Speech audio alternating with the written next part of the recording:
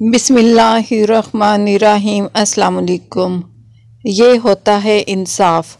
मुलजिम एक पंद्रह साल लड़का था, एक स्टोर से चोरी करता हुआ पकड़ा गया। पकड़े जाने पर गार्ड की गिरफ्त से भागने की कोशिश की। मुजाहमियत के दौरान स्टोर का एक शेल्फ भी टूटा। जज ने फ़ायदे जुर्म सुनी और लड़के से पूछा, तुमने वाकिया कुछ चुराया था?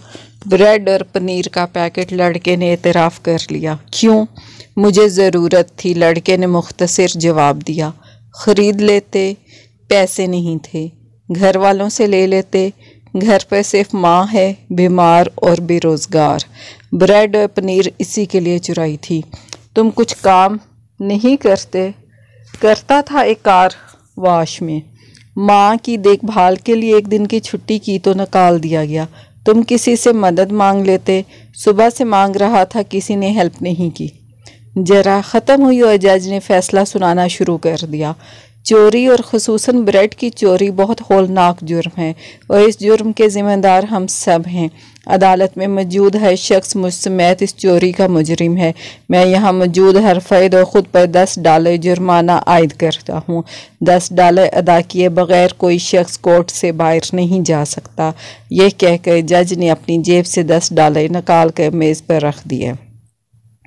इसके अलावा मैं स्टोर इंतज़ामिया पर एक हज़ार डॉलर जुर्माना करता हूँ कि इसने एक भूखे बच्चे से गैर इंसानी सलूक करते हुए इसे पुलिस के हवाले किया। अगर 24 घंटे में जुर्माना जमा ना कराया गया तो कोर्ट स्टोर सेल करने का हुक्म देगी।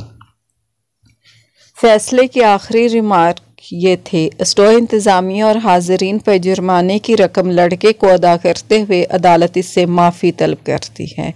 फैसला सुनने के बाद हाजरीन तो अशबार थे ही।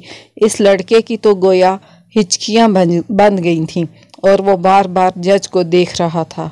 कुफर के माशरे ऐसे ही नहीं फल फूल रहे। अपने शहरियों को इंसाफ ही नहीं, अदल भी फ्राहम करते हैं। ओके, टेक केयर आल अल्लाह हाफिज़।